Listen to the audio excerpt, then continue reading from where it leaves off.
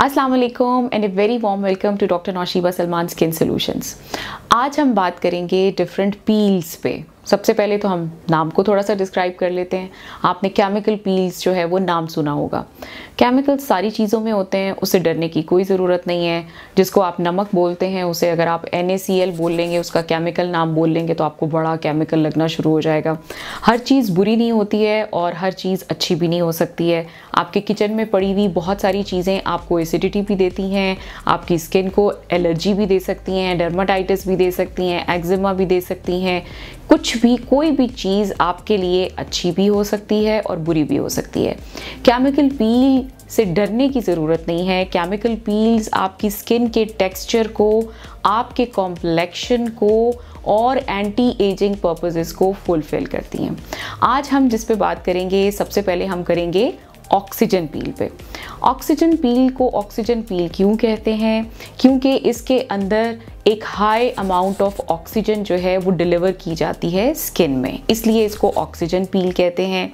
Never जो oxygen पील है, उसके अंदर माइक्रोडर्माब्रेजन भी इन्वॉल्व होता है और उसके साथ साथ जो है, वो आपकी स्किन जो है, उसके ऊपर जितने वाइट हेड्स हैं ब्लैक हेड्स हैं ऑयल ज़्यादा बनता है, वो इन सब चीज़ों को कवर करेगी और उसके साथ साथ आपके कॉम्प्लेक्शन को या आपकी इवन टोन को रिस्टोर करेगी। ठीक है?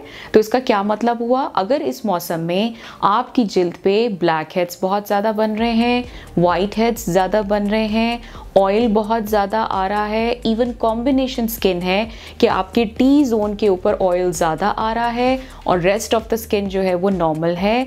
लेकिन आपको साथ साथ लगता है कि आपकी स्किन जो है, उसका कलर या उसकी टोन इवन नहीं है डल हो गई हुई है। तो आप उसके लिए ऑक्सीजन भी ले सकते हैं। ये क्या करेगी? ये आपके ओपन पोर्स पे, आपके ऑयल बनाने वाले ग्लैंड्स पे, आपके वाइट हेड्स ब्लैक हेड्स और उसके साथ आपको इवन टोन देगी। समटाइम्स आपको इसके दो से तीन सेशंस चाहिए होते हैं। कभी कभार एक दफ़ा करना काफ़ी होता है और ये डिपेंड करता है कि आपकी स्किन पे कितना इशू चल रहा है और हमें कितने सेशंस करने की ज़रूरी, ज़रूरत है। यूजुअली जो है वो एक हफ़्ते से सात सात से दस दिन के दरमियान या सात से दस दिन के वक्फे के बाद हम नेक्स्ट सेशन करते हैं। इसमें कोई एज लिमिट नहीं है। यंगस्टर्स भी करा सकते हैं। जो ओल्ड एजड हैं, वो भी करा सकते हैं। जो मिडिल एजड हैं, वो भी करा सकते हैं। बट हम आपकी स्किन को देख के आपको ज़्यादा अच्छे तरीके से बता सकते हैं। घर बैठ के जो आपने असेस करना है, वो ये करना है कि इस मौसम में अगर वाइट हेड्स ब्लैक हेड्स ज़्यादा बन रहे हैं, आपकी टोन अनइवन है और आपके ओपन पोर्स हो रहे हैं या ऑयल ज़्यादा बन रहा है इवन टी जोन पे तो फिर आपने इसके बारे में सोचना है। अब हम आ जाते हैं वाइटनिंग पील पे। वाइटनिंग पील जैसे उसका नाम उसको डिस्क्राइब कर रहा है।